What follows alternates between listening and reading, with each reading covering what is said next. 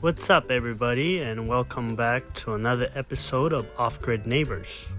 So, today I had the pleasure of visiting my very first earth bag structure. So, as the video progresses, you guys will notice that it's not actually a home and it's just a bathroom, but nonetheless, it is such a cool structure. I just had to make a video about it.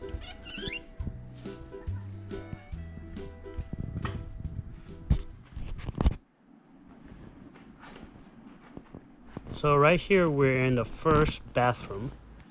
As soon as the door opens, there's a lot going on.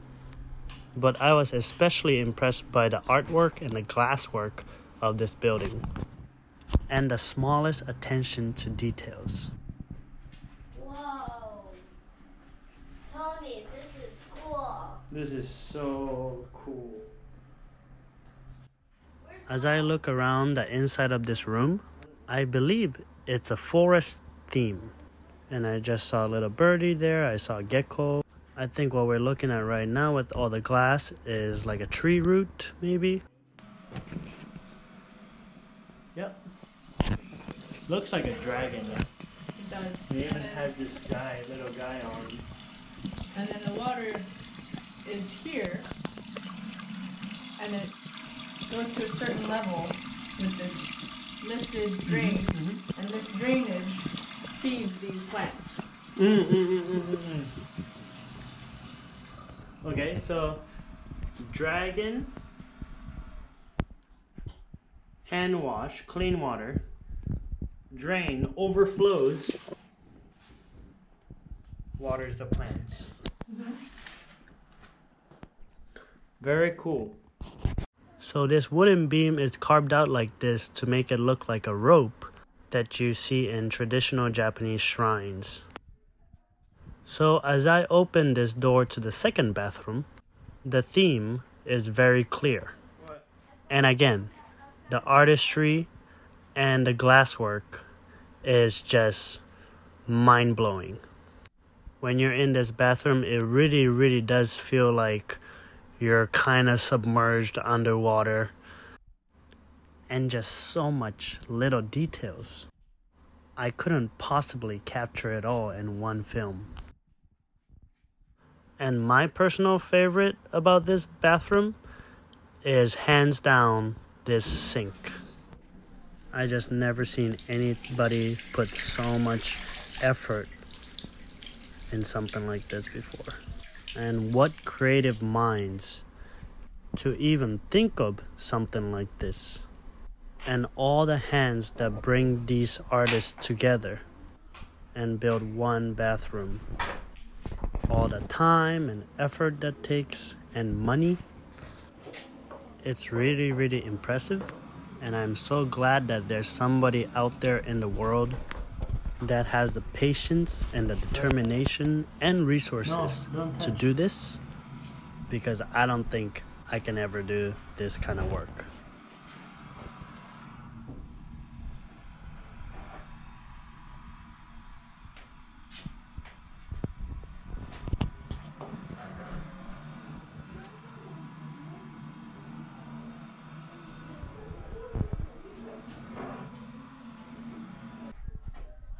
So they've been working on this structure for about a year now, and it's still not fully finished. I believe the doors are gonna be further glorified, and I'm sure it's just gonna be like a continuous work of art kind of type of deal. Fancy hardware makes a lot of difference when it comes to the feeling of the place. So I'm walking to the back of the structure to explore some more. And this rustic door that's been so nicely framed in by this beautiful post caught my eye.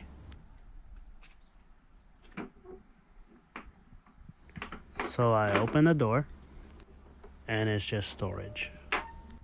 And my initial thought is who puts this much effort into just storage? Again, the hardware makes the whole door way cool. Okay, now The last part about this place is the shower room. I'm not quite sure how they made this door, but there's a hinge at the bottom and the top so the door can swing. It felt quite heavy, so I'm thinking it might be wood that was plastered on with something.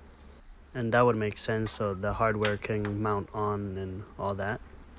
So I don't know about you guys, but I am way more impressed in a structure like this versus like a big conventional house. Because a big conventional house, you follow a blueprint, spend a ton of money, slap some 2x4s together, and it's cool, it's nice, whatever. But a structure like this, you're working with curvatures, pieces that doesn't fit together. You have circles, you have triangles, you have squares. You can't possibly do this on your own. And you can't possibly think of all the small details on your own. That means so many creative minds has come together and worked together to build a structure like this. And not to mention they need to be very, very skilled. Okay, one of the coolest part about this structure is how they recycle their wastewater. When the toilet is flushed, the waste travels through an underground pipe that ends up into this tank. Now, this tank, as you can see, is heavily oxygenated. And you see the bubbles at the surface? Those are called aerobic bacterias. Bacterias that needs oxygen to live. And these bacterias helps break down the waste. And as long as there's food, which is the wastewater, and oxygen, and space, which is the size of the tank, the aerobic bacteria will keep multiplying at a rapid rate. So, same thing in this tank. One toilet flushes into one tank and the other toilet flushes into the other tank. And I just want to make a comment right now. Although the lid is open, I do not smell any foul smells coming from this water.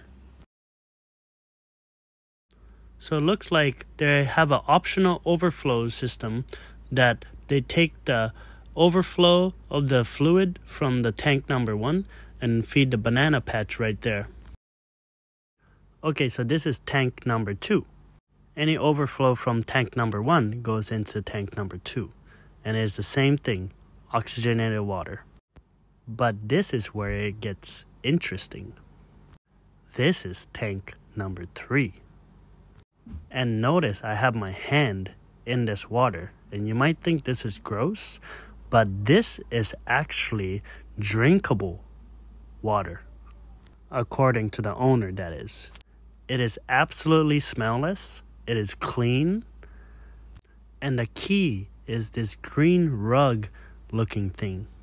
And lots and lots of algae is growing on that green rug. Also, this container holds some clue to this water treatment system as well. To me, this looks like a starter for the algae, or at least some sort of microbial uh, formula that helps breaks down and purify the water. So here's a look from a different angle. This is tank number two, and you see the bubbling, you see the stirring, the turning. This tank is so nutrients dense. It is absolutely gold for your garden. Depending on how much rainfall you get, you would just take this fluid and dilute it with water and spread it on your garden and watch the magic take place. Taking a look at tank number three, one thing I realize is that the oxygen bubbles are coming all the way from the bottom of the tank to the top, going through the algae rug. Now, although I don't recommend drinking this water, it is a fascinating system for sure. Okay, thank you for sticking through that and watching uh, another episode. So, I was in Japan, still am, but I was in Japan about two month journey and I was in this island called Yakushima, all the way south of Japan. Um, it resembles Hawaii a lot, and it's it's it's really really interesting how similar it is to Hawaii. Uh, not just the lifestyle, but the plants, and a lot of people are striving to be self-sufficient and uh, live off grid. So this journey has taught me so much and I'm so excited to go back to Hawaii and apply all the things I've learned um, to my own homestead. Tomorrow we fly out and back to Hawaii. Next episode for forward will be back in Hawaii. Thank you guys for watching another episode and see you back in Hawaii.